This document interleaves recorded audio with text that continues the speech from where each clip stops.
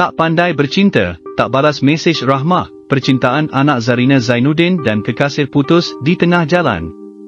Hubungan antara anak kepada pelakon terkenal, Zarina Zainuddin iaitu Azal dengan pasangannya, Rahmah sudah putus di tengah jalan. Berita ini dimaklumkan oleh Zarina sendiri apabila dia memuat naik satu hantaran tangkap layar mesejnya bersama Rahmah.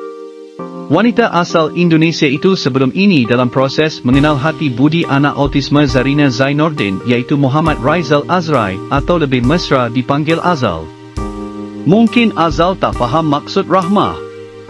Menerusi tangkap layar tersebut, Rahmah menghantar mesej kepada Zarina dan bertanya kabar mengenai Azal namun wanita itu seperti merajuk kerana Azal sendiri seolah-olah melupakannya. Azal lupa dengan saya ya?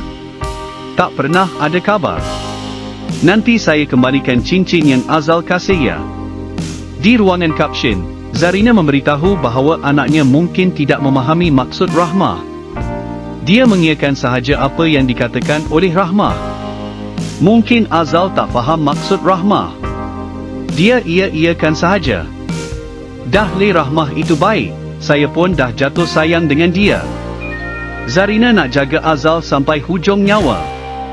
Dalam kapsin yang sama, Zarina seolah-olah reda soal jodoh anaknya dan dia berjanji akan menjaga Azal selagi hayat di kandung badan.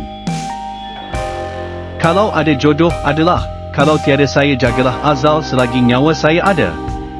Zarina ada memuat naik satu hantaran mengenai Rahmah dan Azal sebelum ini namun hantaran itu telah pun dipadam. Walau bagaimanapun, Zarina memuji sikap baik Rahmah kerana memulangkan semula barang-barang yang telah diberikan sebelum ini.